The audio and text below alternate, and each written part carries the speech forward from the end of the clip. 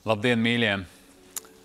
Cik labi, ka Dievs ir devis mums dzīvi, kura ir piepildīta ar jēgu. Šī jēga ir izdarīt Dievu prātu šeit virs zemes. Un, kad mēs esam šai Dieva gribā, mēs esam tādā labā, patīkamā stāvoklī, pat arī tad, kad apkārtējie stāvokļi nav patīkami. Priekš Pāvila tas bija cietums, atradās tādā grūtā situācijā, sociāli grūtajā, bet garīgi viņam bija labi. Un viņš varēja pat rakstīt Filipiešiem, priecājieties, es jums vēlreiz saku, priecājieties, viņš iedvesmoja tos, kuri bija brīvībā, kuri bija ar savām ģimenēm, ar bērniem, bet viņš viņus pamudināja, lai viņi priecājas. Un viņš sacīja, ka šie apstākļi ir veicinājuši evaņģēliju. Un atrodoties cietumā, viņam Dievs deva daudz atklāsmes. Un arī šī atklāsme par to, kā būt uzvarētājiem, kā mums būt efektīviem, kā karēviem. Viņš raksta Efeziešiem 6. nodaļā par to ekipējumu, kāds bija Romas uh, uh, zaldātiem, karēviem. Un, uh, viņš saka par uh, kājām. Viņš saka, ka kājām jābūt ir apautām. Šeit rakstīts 15. pantā. Kājas apāvuši ar apņemšanos kalpot miera evaņģēliem. Viena no svarīgajām arī karēvja daļām, lai viņš varētu efektīvi karot, tās ir viņa kājas, un kungs saka, ka mēs arī esam ne tikai, kā Pāvils salīdzina, kā mūsu kā sportisti, bet mūsu kā karotājs. Un mēs šodien esam aicināti, lai vestu tā kunga karus.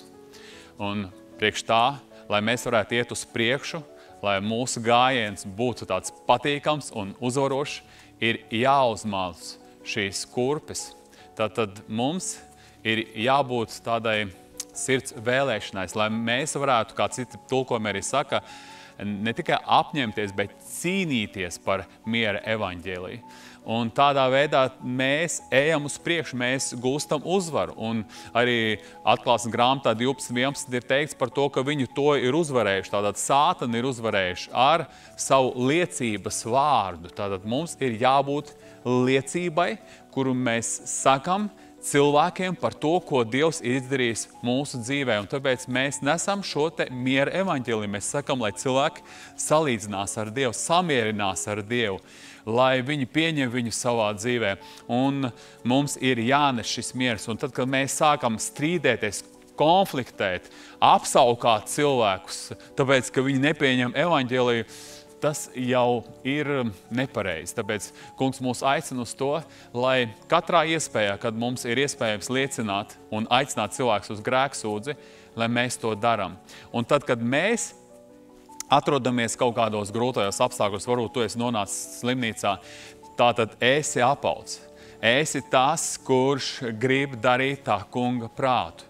Tādā veidā tu redzēsi, tev būs lūkšana, būs tāds pozitīvs eh, noskaņojums, ka es zinu, kāpēc es esmu nonācis šeit. Tāpēc, ka man ir jāsludina. Tātad apņemies, turi savā prātā šīs domas un redzēsi, kā sātans, kurš nāk klāt, lai tu sāc kurnēt, lai tu sāc šaubīties, lai tev nav laba gara stāvokļa, lai tādā veidā viņš būtu uzvarēts. Tāpēc, ja tu gribi, lai tiešām tava dzīve iet uz priekšu, lai tu mainies, lai arī apkārt e, cilvēki mainās, tev ir jāsludina Dieva evaņģēlis, tev ir jārunā par to, ko Jēzus Kristus ir runājis, par to, ko šodien Dievs vēlas, lai tu saki. Un tas ir tas labākais, tas brīnišķīgākais, par ko mēs varētu domāt un runāt. Tas ir Jēzus, tas ir viņa darbs.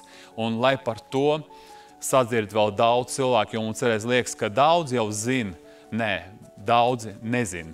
Varbūt viņi ir dzirdējuši, bet varbūt tas ir tas brīdis, kad tu viņiem stāstīsi par Jēzu, ka viņu sirds būs sagatavots. Un varbūt tas būs tas moments, ka svētais gars arī atdzemdinās viņus no augšienes. Tāpēc esi gatavs, esi pats ar mieru sirdī, lai tu varētu sēt šo miera evaņģēliju tālāk citiem cilvēkiem. Es ļoti lūdzu, Dievs, man svētī šī cilvēka dzīvi.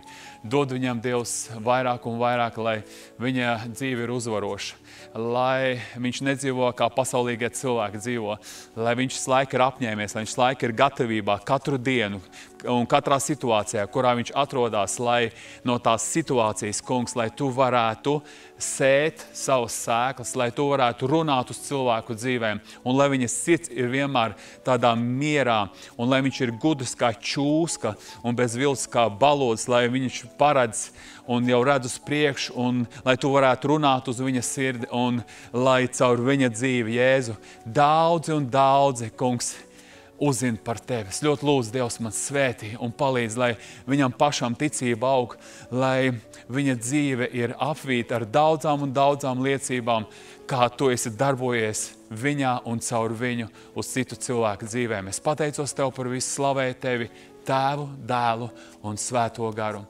Āmen! Dieva svētības Tev uz redzēšanos!